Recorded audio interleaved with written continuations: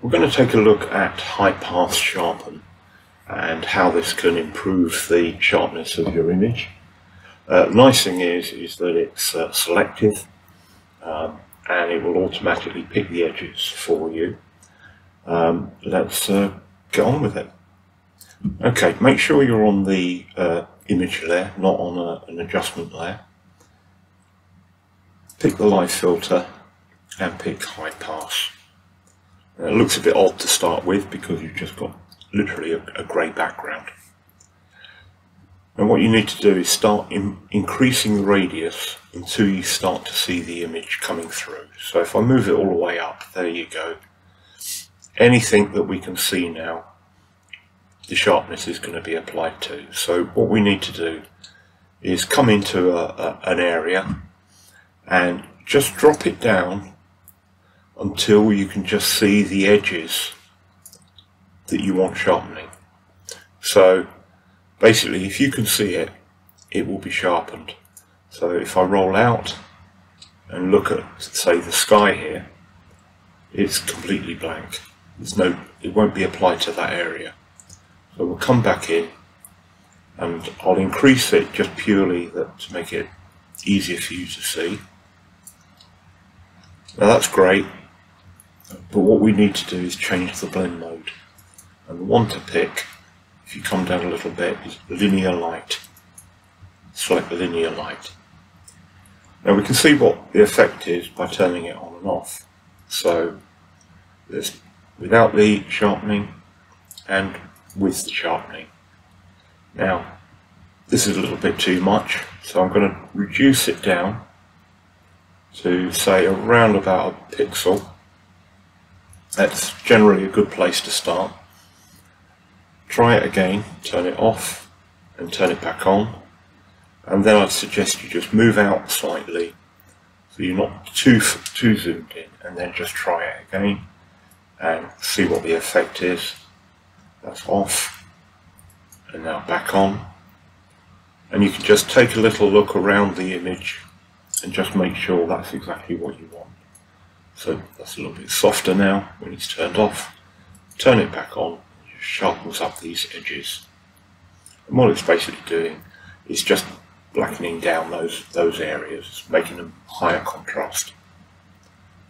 Right, it's as simple as that. So we just hit an X and we leave it there. If we did want to take the sharpness away in a specific area, um, let's say this area down here it's also a mask so just pick your paintbrush.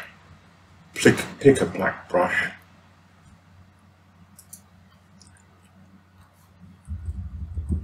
And you can just paint out the area. Let's just turn the hardness up a little bit. Opacity. I could paint the sharpness off that area. So now when I turn it on and off, you can see the brickwork here sharpening up, but this item is no longer sharpening. Right, let's have a look at another example. This deer here. So again, we'll apply the sharpness. So live filter, high pass. We've got a completely grey background bring up the radius and you can start to see the, the deer's features.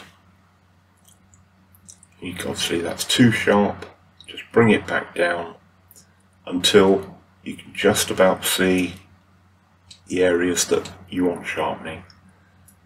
Change the blend mode to linear light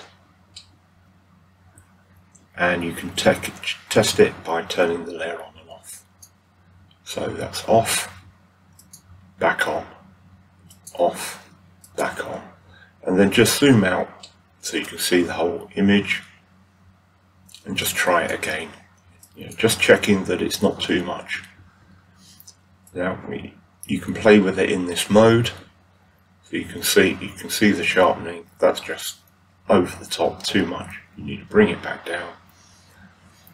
And to be honest, generally I find around one one pixel is is the best. So off and back on.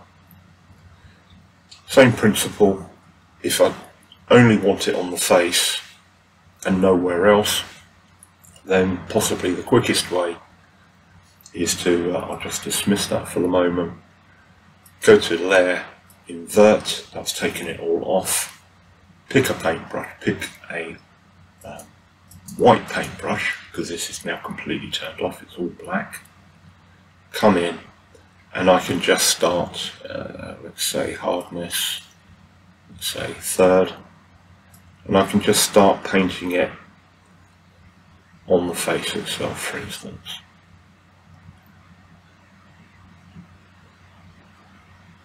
There we go.